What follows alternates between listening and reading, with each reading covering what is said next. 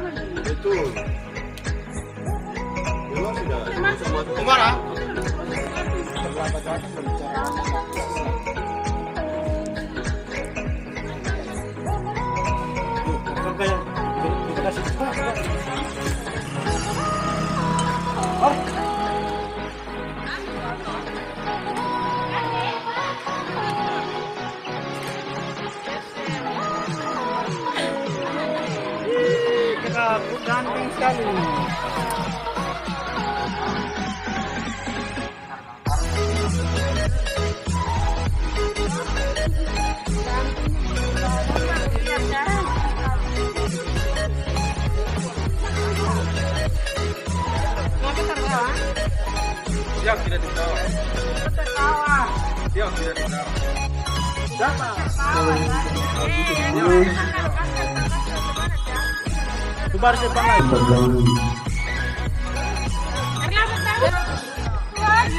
Kan dalam perusahaan masuk di luar tidak apa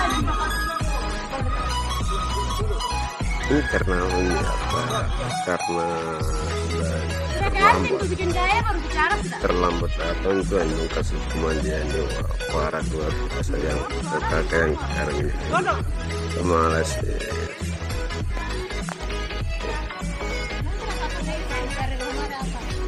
sekali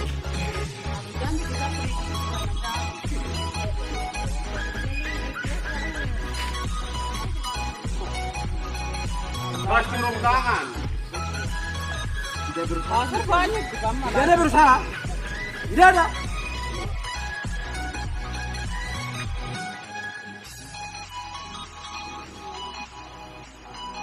Muka gitu. Dengar.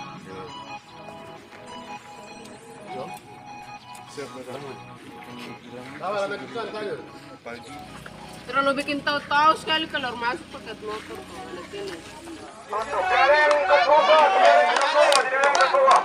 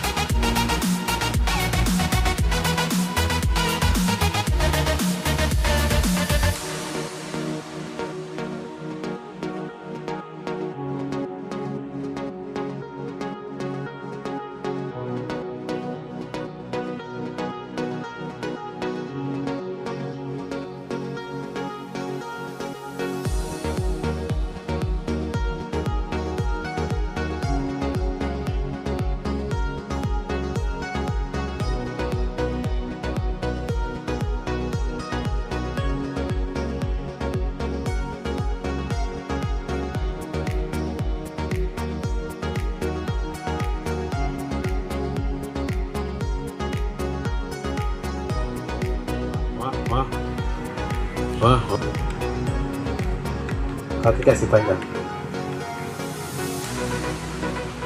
Wah, wah, wah, wah.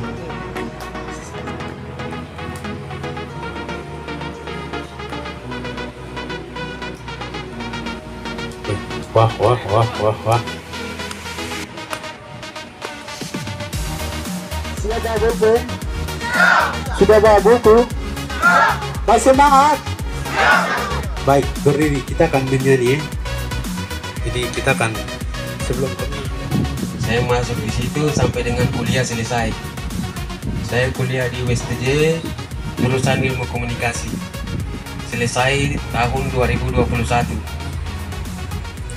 Dan saat ini saya tinggal di Entrok. Demikian perkenalan singkat dari saya. Wah,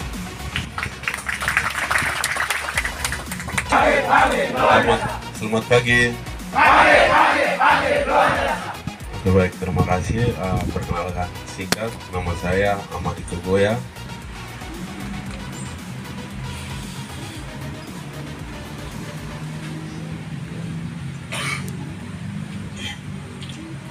baik. Terima kasih. Pasti sudah kenal semua. Ya, Tak kenal maka tak saya yang sudah dikenalkan.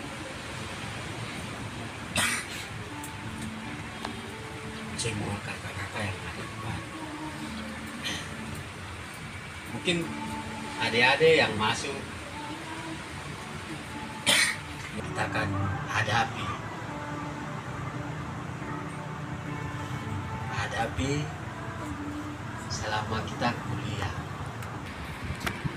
Baik, baik. Terima kasih. Asrama itu adalah as- asrama itu kita tujuan datang dari kampung kita masing-masing. Dan daerah kita masing-masing untuk sekolah. Tidak bertujuan tidak lain-lain untuk apa-apa. Dan asrama itu untuk khusus mahasiswa. Dan tidak ada tidak, tidak sekolah atau kelab tidak sama-sama dengan orang tua. Khusus hanya mahasiswa. Dan dari itu kita belajar. Baik-baik membangun kita jawaban yang belum jawab saya mengucapkan terima kasih. Jadi begitu yang sudah teman-teman jawab itu sudah. Asrama itu itu. Bahwa asrama adalah sebuah bangunan yang menam- menampung sejumlah mahasiswa yang punya tujuan sama. Tapi yang dari punya tujuan sama ini semua berbeda ada yang perokok, ada yang pemabuk, ada yang pendiam, itulah kita atau ada yang semuanya ini kudu semua? Hah? ya. Kita ini beda-beda semua. Jadi jangan pernah saling apa? Pilih-pilih teman. Ah yang ini tuh kan mabuk ngaco. Ah tidak usah begitu. Ya. Pola hidup asrama. Ah, pola hidup asrama ini bagaimana kita akan memberikan materi untuk ah, dia sudah bilang yang ini bukan mabuk saya tidak usah ikut. Jadi kita mau hidup di asrama itu satu mama satu bapak itu jangan saling apa saling menjatuhkan, membenci satu dengan yang lain itu. Kalau memang kalian sudah ketahui apa itu asrama, ya. Dan juga jangan ikuti pengaruh di luar. Kalau sudah tahu asrama seperti itu, asrama bikin dari keluar sudah Aduh, itu kok mental tidak kuat. Yang tadi kamu bilang, saya masuk selamanya. Itu mental tidak kuat. Ya.